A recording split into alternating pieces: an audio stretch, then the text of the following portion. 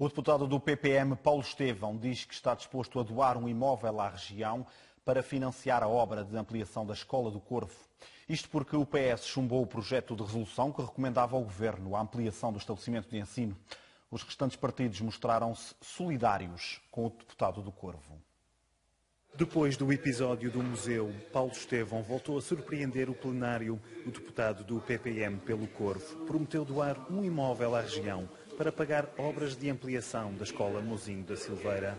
Não faço por ser melhor que ninguém ou por ser muito rico. Faço, faço por convicções. Faço, faço porque nunca desisto de um projeto. Faço porque não desisti do museu. E faço porque não desisti, não desisto de uma escola digna para os alunos do Corvo. Em causa, a falta de capacidade da escola para albergar as turmas até ao 12º ano. O PPM recomendou a ampliação. Outras bancadas subscreveram a intenção. Isto é absolutamente degradante que um deputado tenha que vir aqui e dizer se o, se o governo não fizer, eu vou fazer. A última grande escola que foi feita em São Miguel derrapou mais de 7 milhões de euros e passado dois meses o teto caiu.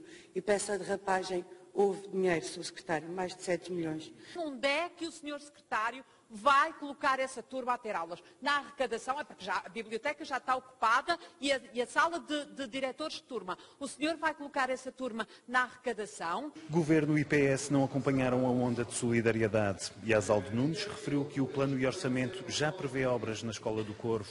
Avelino Menezes adiantou que a intervenção prevista não amplia, mas resolve o problema de uma escola que não deverá aumentar o número de alunos nos próximos anos.